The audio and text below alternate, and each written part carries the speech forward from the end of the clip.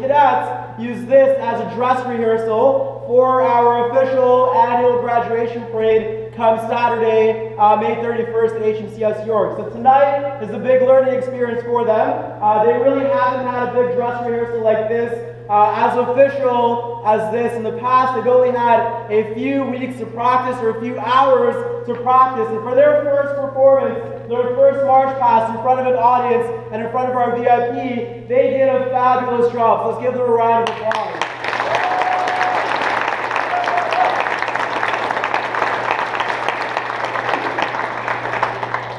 So you're more than welcome to take pictures throughout the parade. You can uh, come downstairs or grab a seat on the parade square. We're not going to stop the parade uh, to take pictures though, so if you would uh, like to take a picture, please come down in advance of the award. So we'll jump right into our uh, presentation. The formality of today's parade is a bit uh, relaxed compared to what you're going to see on Saturday.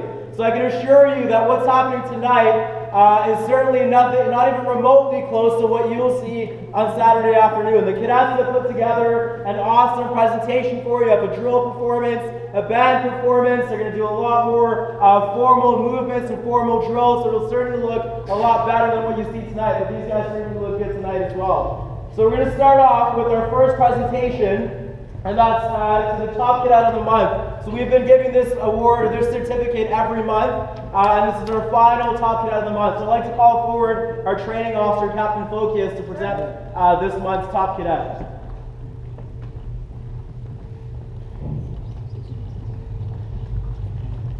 So what we've been doing this year, at the end of every month, we've been selecting a top cadet of the month. This cadet is someone who exemplifies, who inspires, who has excellent dress deportment, drill, who, but most of all, who their attitude really shines through in everything they do that month. Someone that the other cadets can look up to. So this individual has not only displayed this this month, but has displayed for the whole year this example for the other cadets. I'm proud to call upon Flight Sergeant Bell to receive top cadet presentation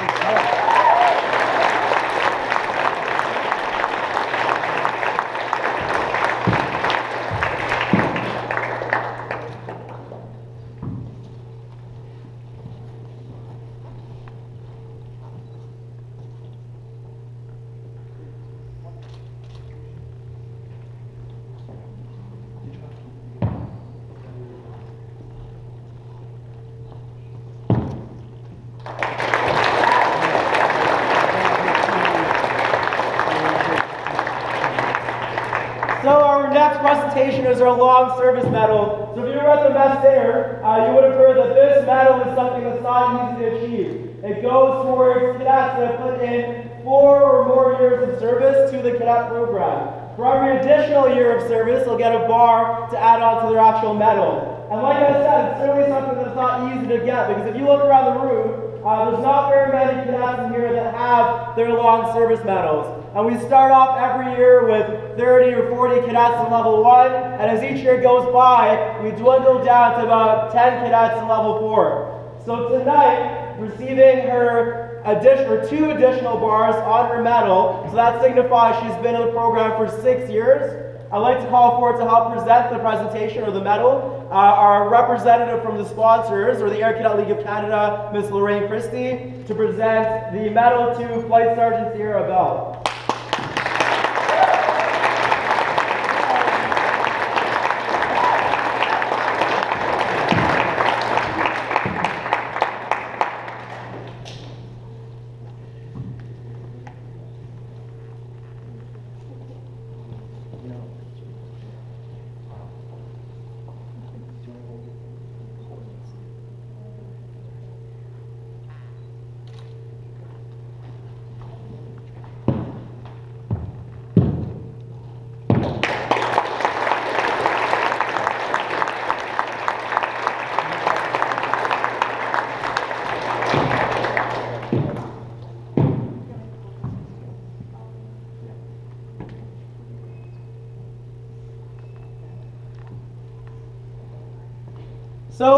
again call upon our training officer, Captain Focius, to explain the next uh, group of uh, cadets we're going to be calling up. Captain Focius.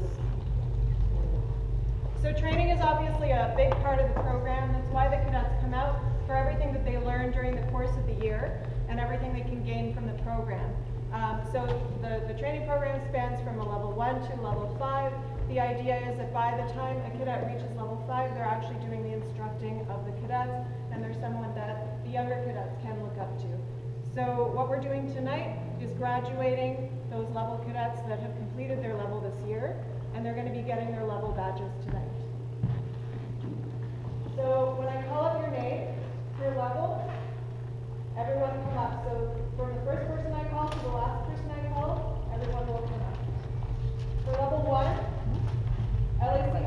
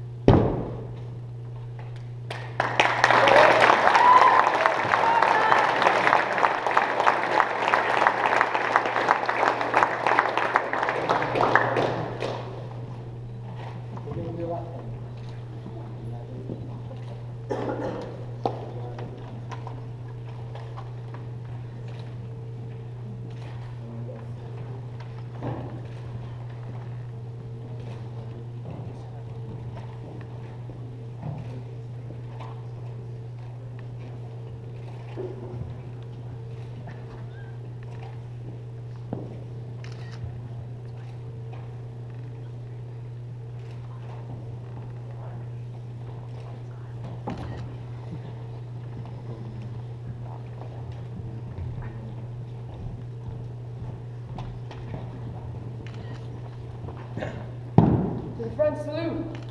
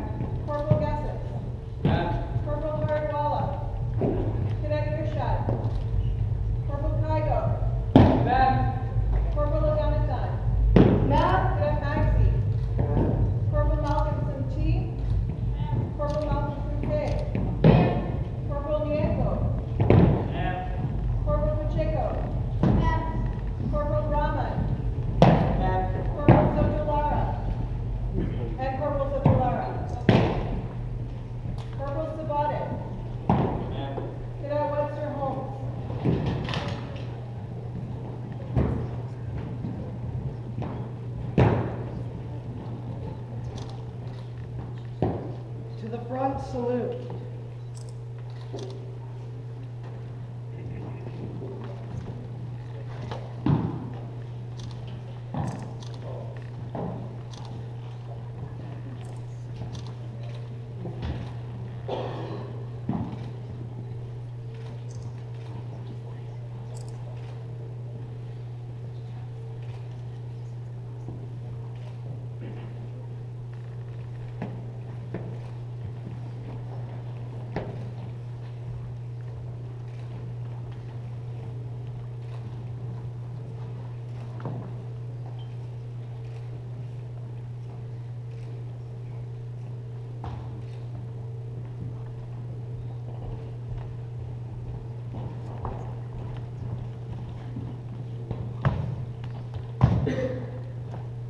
absolutely.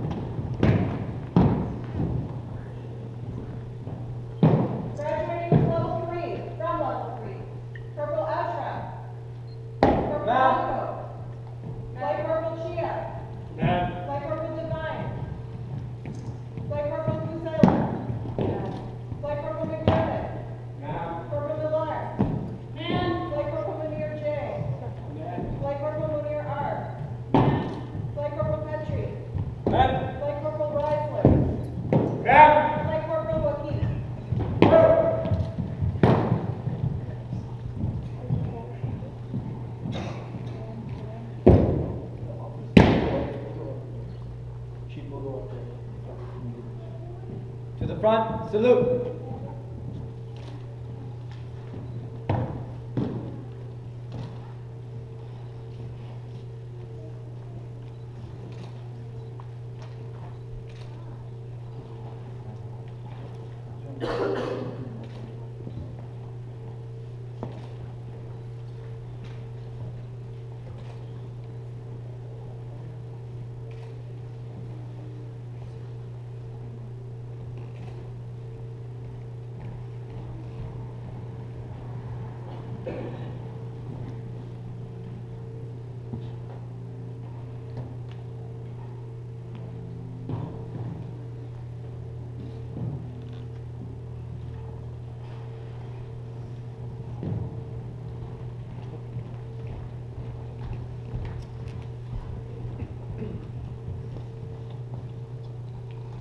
front, salute.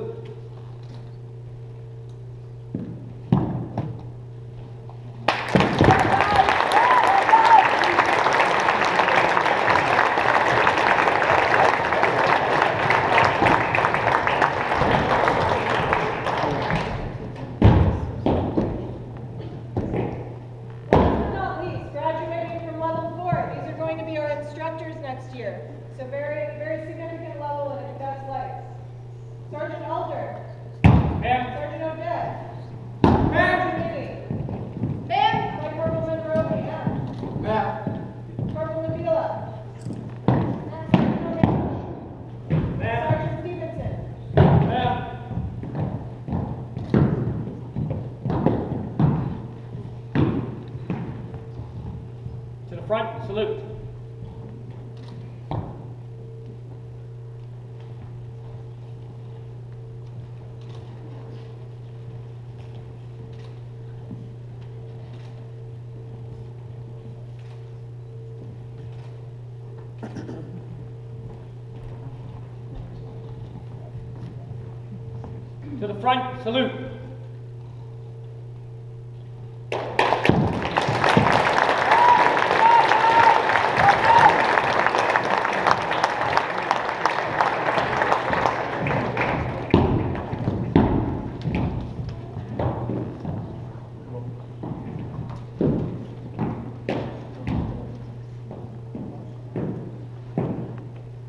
like to call upon our Deputy Commanding Officer to assist me in our next round of promotions.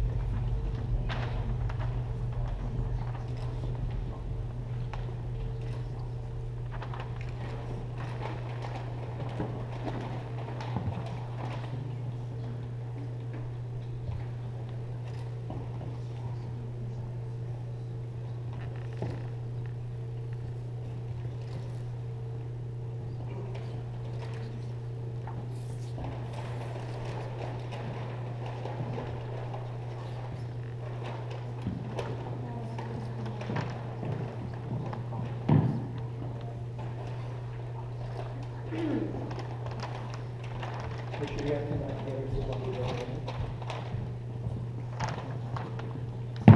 the front, salute.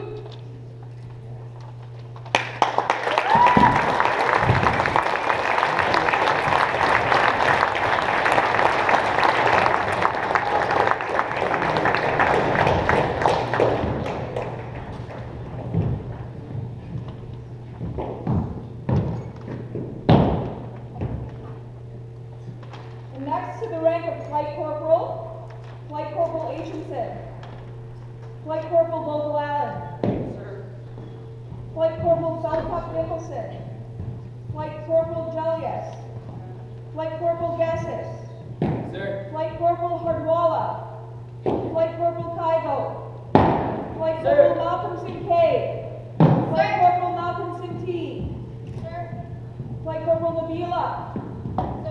Flight Corporal Sotalera E. Flight Corporal Sotalera N.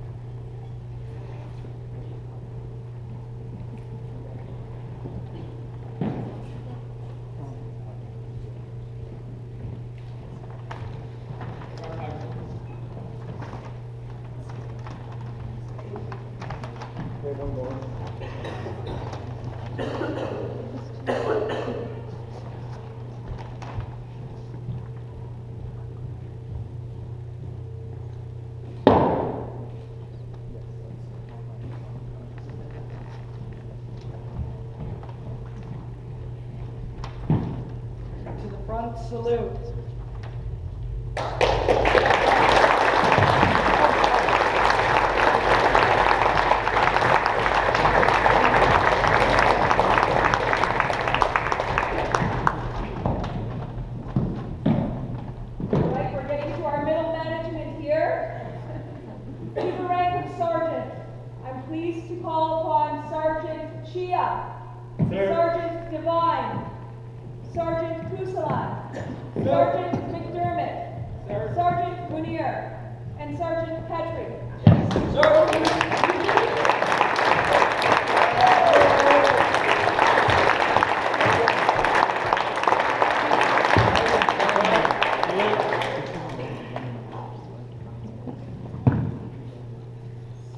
Çok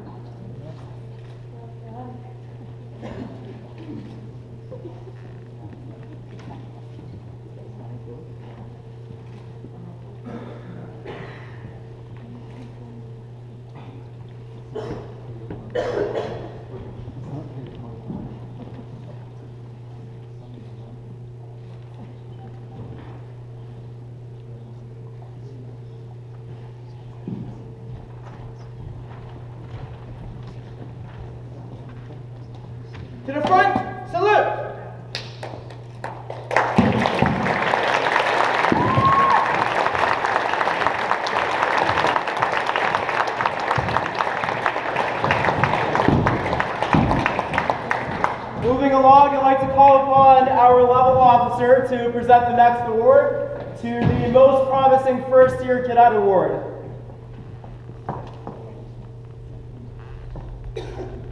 So this, uh, Um, so the most promising first year cadet award goes to the cadet in their first year of training that has the enthusiasm and positive attitude that hopefully spreads to other cadets and that we hope that you all exemplify in the future. Um, so, this is presented to two cadets, Corporal Loganathan and Corporal Rojas.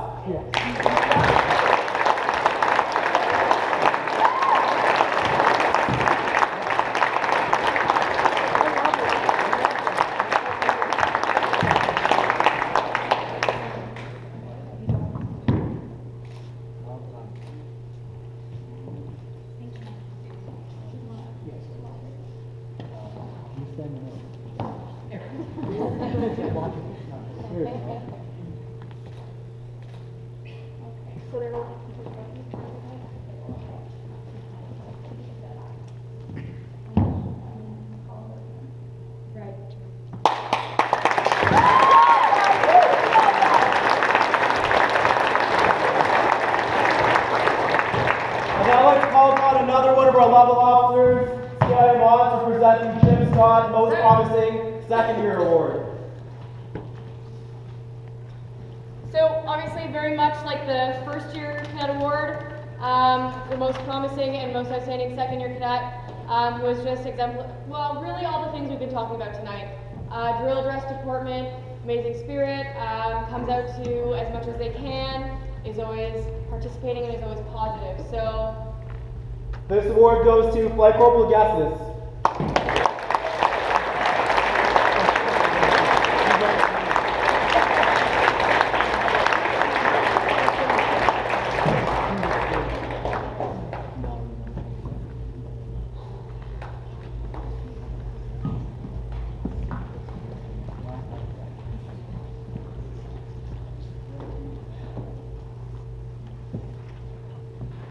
So the next award is named after a former commanding officer of 330 Squadron, currently our deputy commanding officer. I'd like to call upon Captain Marziliano to present the Captain Anita Marziliano Most Promising Third Year Cadet Award.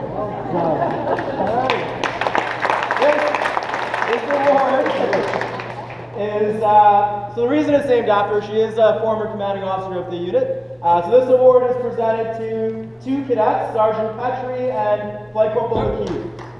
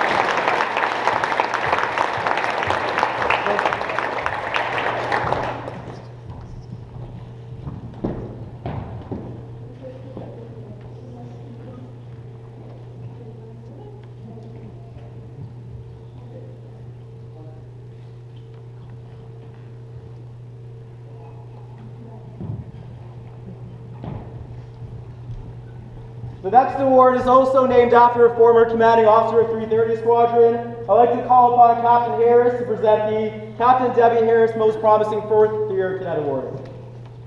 This award is presented to Flight Corporal Nabila.